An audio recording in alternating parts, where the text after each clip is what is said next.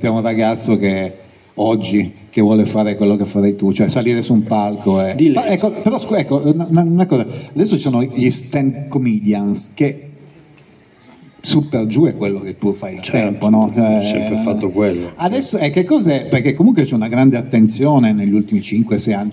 Che cosa, cosa è cambiato?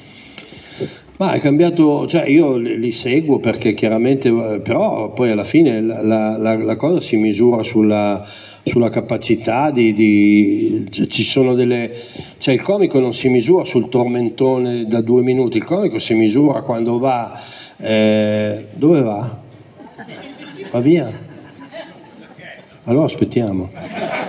No, il comico si misura sulla, sulla, eh, davanti a un pubblico, quando tu vai in un teatro c'è il pubblico che ti ha Un'ora, e cioè, fai un'ora e mezza, un'ora, un'ora, un'ora e mezza di, e lì capisci qua- qual è la, la- la capacità di stare in scena. Comedian, sai, io li vedo, però la- una cosa che a me dà fastidio è, ma, ma- ma capisco che lo possono fare, è questo uso reiterato un po' della- del, del volgare, dell'andare, eh, la- parlare anche di cose che magari mh, cioè, possono anche non, non- cioè, non mi piace questa- questo, questo es- estremizzare proprio la volgarità, che può essere anche interessante, però ci vuole secondo me alla fine un certo gusto, un certo- una certa distanza da quello che stai, che stai dicendo. Certo. E quindi mh, li, li seguo, seguo, però li, li valuto in base a quello che mi fa,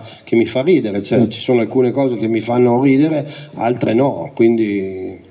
E dicevo, cosa, cosa consiglieresti adesso a uno, un ragazzo? che- Consiglierei di leggere, di leggere tanto di- di- e, e di essere molto curiosi, perché leggendo eh, e poi soprattutto di coltivare una- que- quello, quello che lui, che- quello che uno, io ho, ho- ho- coltivato quello che sentivo, cioè non- l'obiettivo non è diventare famoso, l'obiettivo è far ridere, cioè l'obiettivo è salire su un palco anche davanti a 20 persone ed essere capace di farle ridere, quella è la, la cosa e quando ce la fai è una gran soddisfazione. Certo, e, è vero che adesso c'è in mente questo programma televisivo che è una scuola per opinionisti.